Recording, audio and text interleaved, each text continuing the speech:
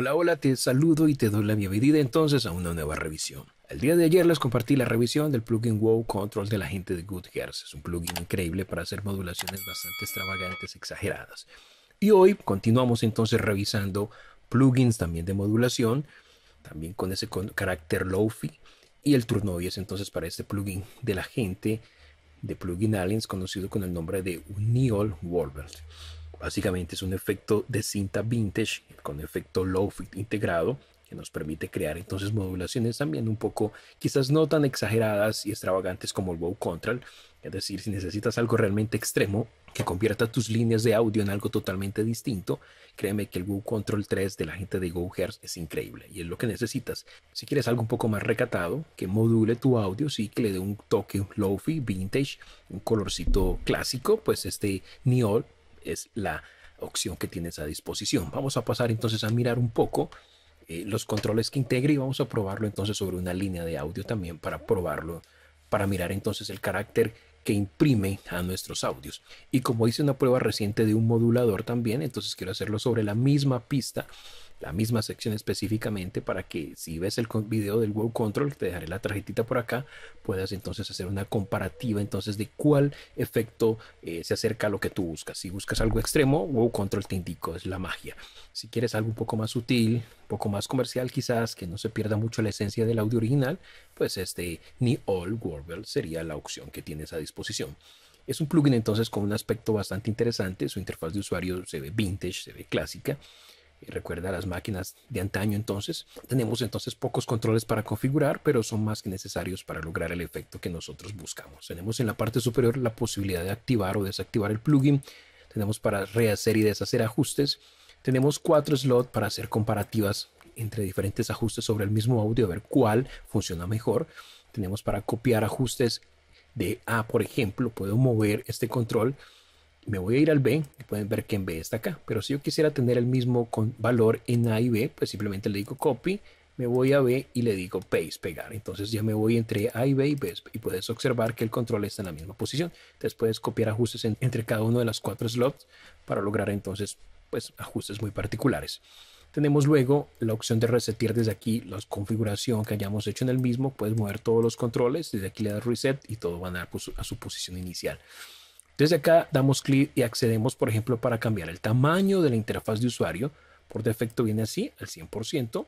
En mi caso lo tengo un poco más grande, tengo el tamaño medio.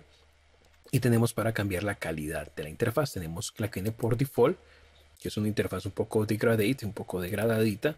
Pero si quieres alta calidad, pues le das a la segunda opción. Y tienes aquí para la animación de cinta que puedes ver aquí cómo se está moviendo. Bastante creativo, interesante.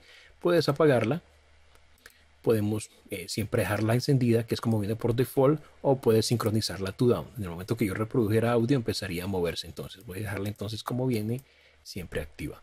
Luego tenemos los controles en la parte central para configurar. Tenemos para aplicar el efecto de WOFT. Recordemos que el WOFT son modulaciones a bajas frecuencias.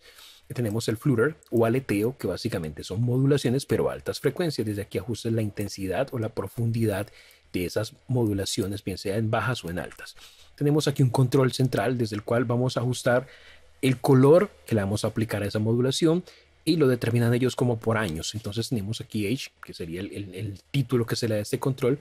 Tenemos modulaciones nuevas, las nuevas pueden ser un poco más limpias. Tenemos aquí Dirt y All, que serían un poco más clásicas, más sucias.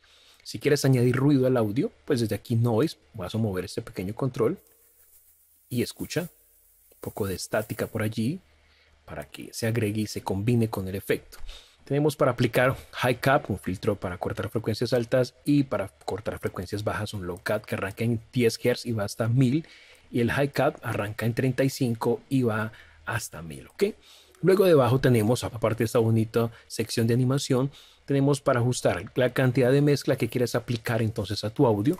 Puedes aplicar procesamiento paralelo llevándolo a un 50% es decir, 50% de la señal procesada, 50% de la señal limpia.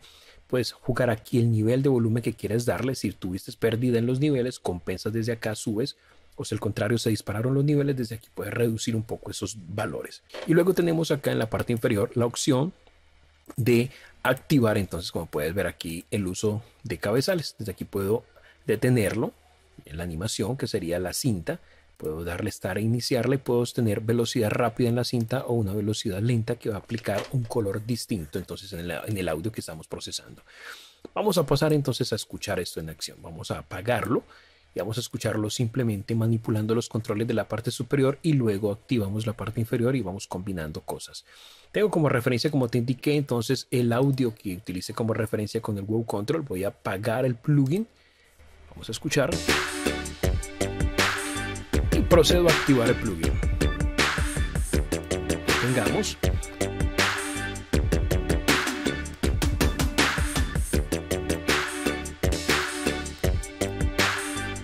y vamos a activar lento vamos con rápido escucha solamente el wow bajas frecuencias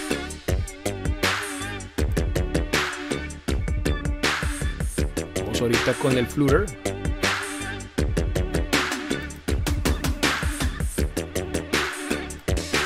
obviamente puedes jugar con esto y el edge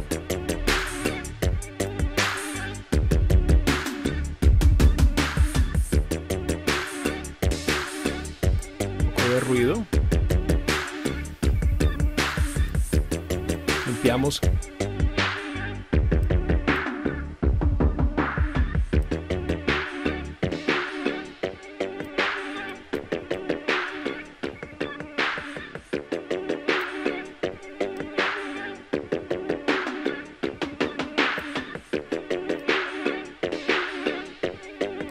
Velocidad de cada uno.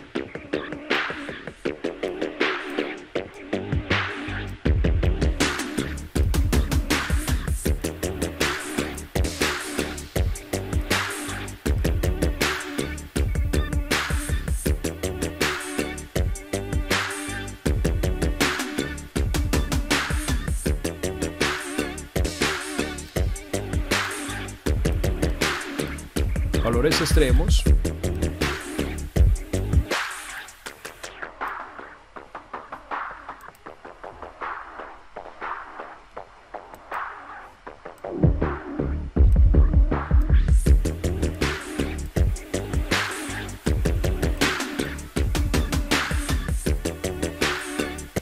Y ya dependerá mucho de lo que estés procesando. Si es una línea de guitarra, un bajo, una batería, unas voces, pues tú ajustarás los parámetros acorde al color que quieras darle. Puedes ver que es bastante interesante el color que obtenemos. Nada distorsionante, nada destructivo. O sea, no son modulaciones que realmente sean extravagantes, que hagan que el sonido cambie su esencia o se convierta quizás un bajo en un pub. Con Wow Control de Good Gears puedes lograr eso, pero con este vas a lograr un sonido más vintage, más clásico.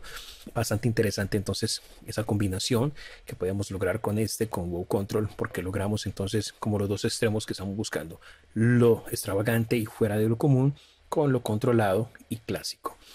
Este ha sido amigos entonces el New Old de Plugin Aliens, el New Old Wolver, básicamente un plugin de modulación, de efecto vintage, de color vintage, clásico, lofi el cual puedes tú mismo probar, irte al sitio web de Plugin Aliens, descargar la versión trial del mismo, funcional durante 15 días totalmente. Y pues obviamente si te encanta el plugin, si le aporta lo que buscas, si haces soul, si haces música como soul, música disco o no sé, rock clásico, pues quizás ese plugin puede aportarle algo a esa música, a ese matiz, a ese color que estás que quieres lograr entonces con tu música. Con esto cierro, esperando que la información compartida aquí en algún grado te haya sido útil. Si así ha sido, un like lo demuestra. Comenta, comparte, suscríbete al canal si eres nuevo. Activa la campana para que te notifique cuando subo un nuevo vídeo. Y mantente aquí conectado. Nos vemos próximamente en una futura revisión. Hasta la próxima. Bendiciones para vos.